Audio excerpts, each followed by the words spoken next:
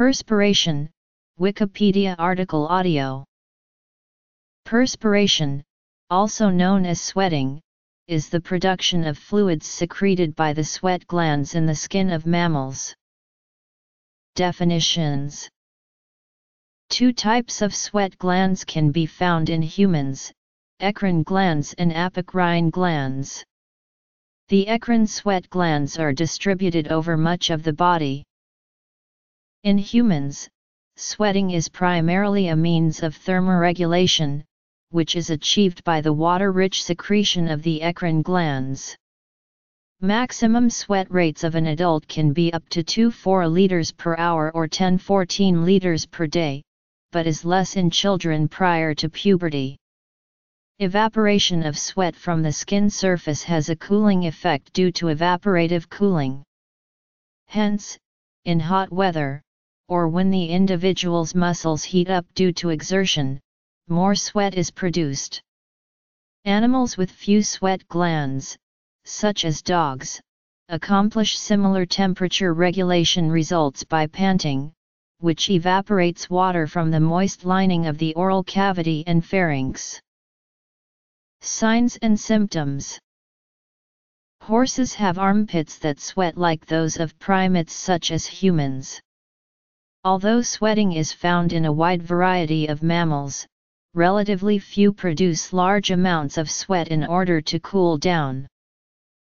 Causes Sweat contributes to body odor when it is metabolized by bacteria on the skin. Medications that are used for other treatments and diet also affect odor. Some medical conditions, such as kidney failure and diabetic ketoacidosis, can also affect sweat odor. Areas that produce excessive sweat usually appear pink or white, but, in severe cases, may appear cracked, scaly, and soft. Pathological sweating Diaphoresis is a nonspecific symptom or sign, which means that it has many possible causes. Some causes of diaphoresis include physical exertion, menopause, fever, ingestion of toxins or irritants, and high environmental temperature.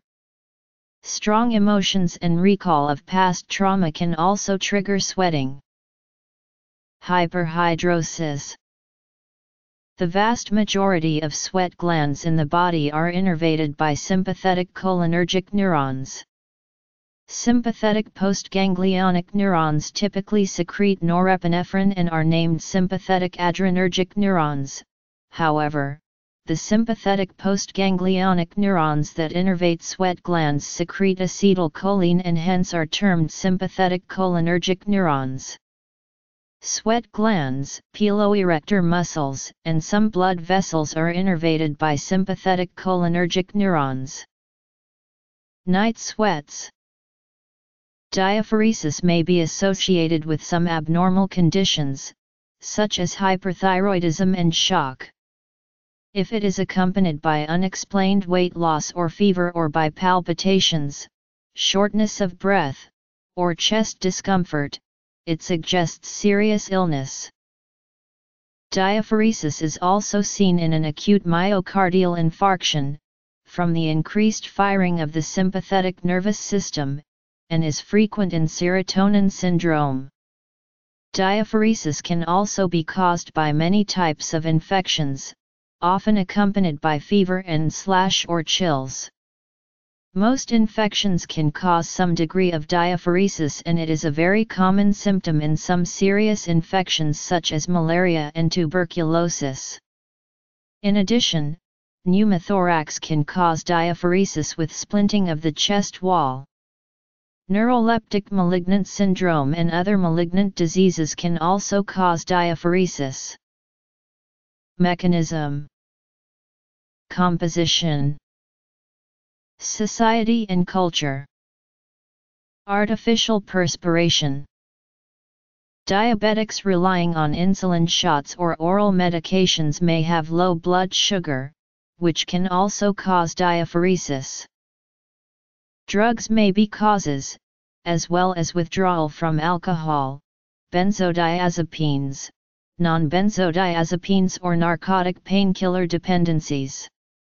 Sympathetic nervous system stimulants such as cocaine and amphetamines have also been associated with diaphoresis.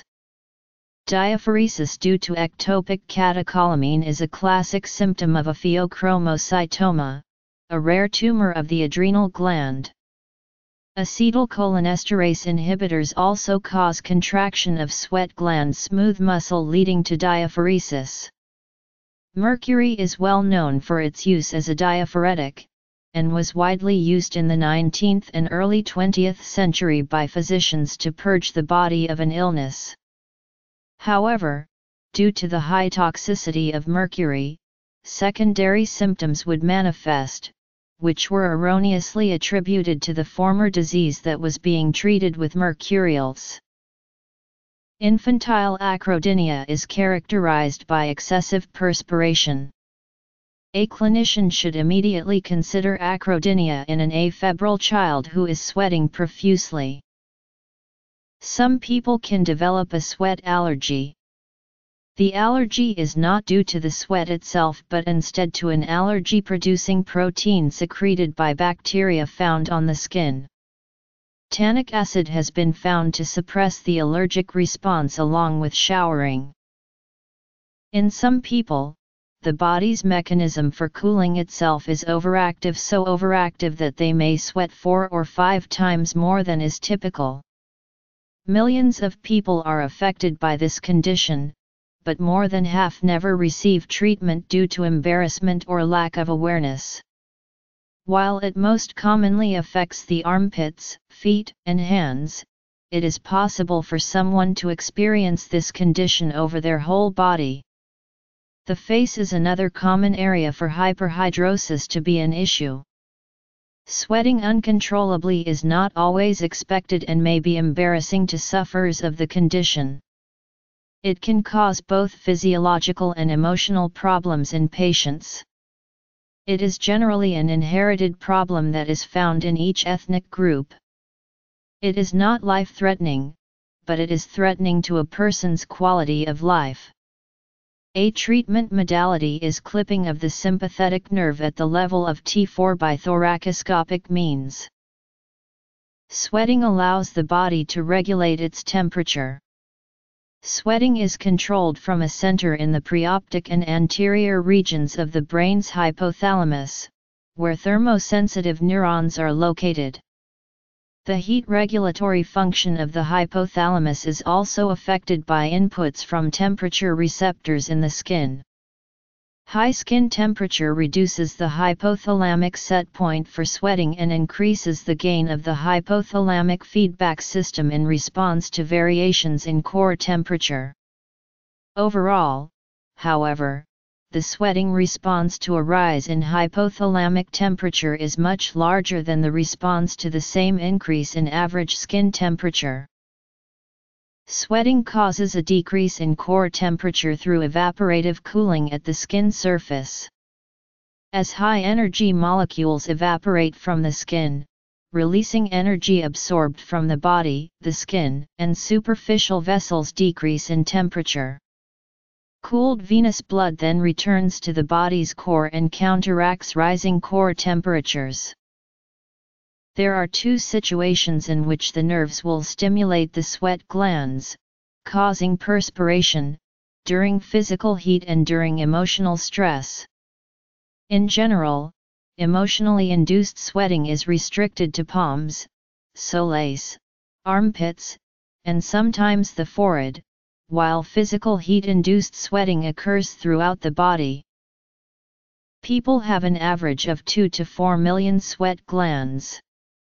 But how much sweat is released by each gland is determined by many factors, including gender, genetics, environmental conditions, age, or fitness level. Two of the major contributors to sweat rate are an individual's fitness level and weight.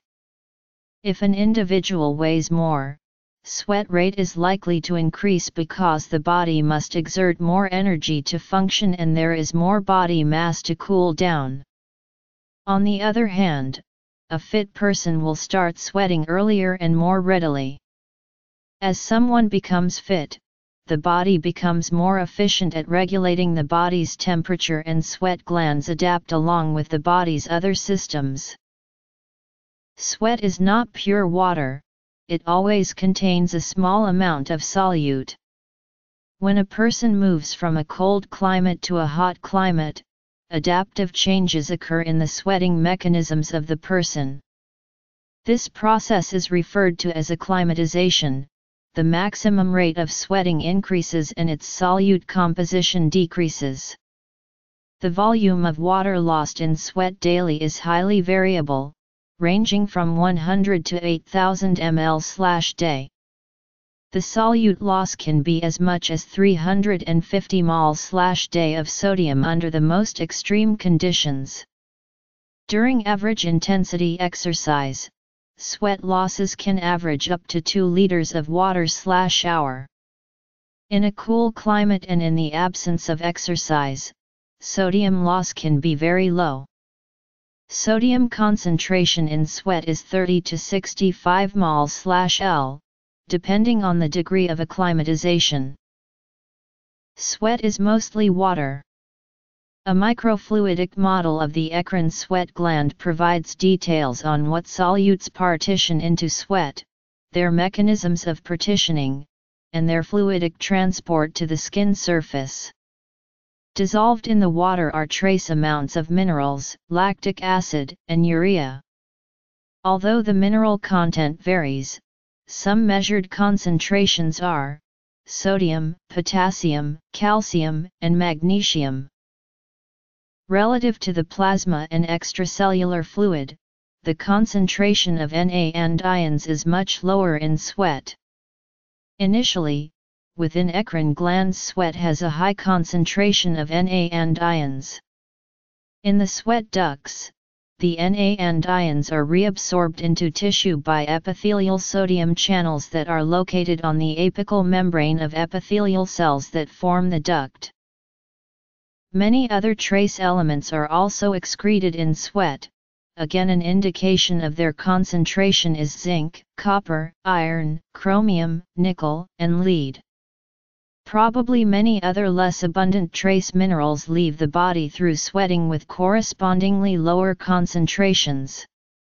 Some exogenous organic compounds make their way into sweat as exemplified by an unidentified odoriferous maple syrup scented compound in several of the species in the mushroom genus Lactarius. In humans, sweat is hypoosmotic relative to plasma. Sweat is found at moderately acidic to neutral pH levels, typically between 4.5 and 7.0. Artificial skin capable of sweating similar to natural sweat rates and with the surface texture and wetting properties of regular skin has been developed for research purposes. Artificial perspiration is also available for in vitro testing, and contains 19 amino acids and the most abundant minerals and metabolites in sweat. There is interest in its use in wearable technology. Sweat can be sampled and sensed non-invasively and continuously using electronic tattoos, bands, or patches. However, sweat as a diagnostic fluid presents numerous challenges as well, such as very small sample volumes and filtration of larger-sized hydrophilic analytes. Currently the only major commercial application for sweat diagnostics is for infant cystic fibrosis testing based on sweat chloride concentrations. Diagnostics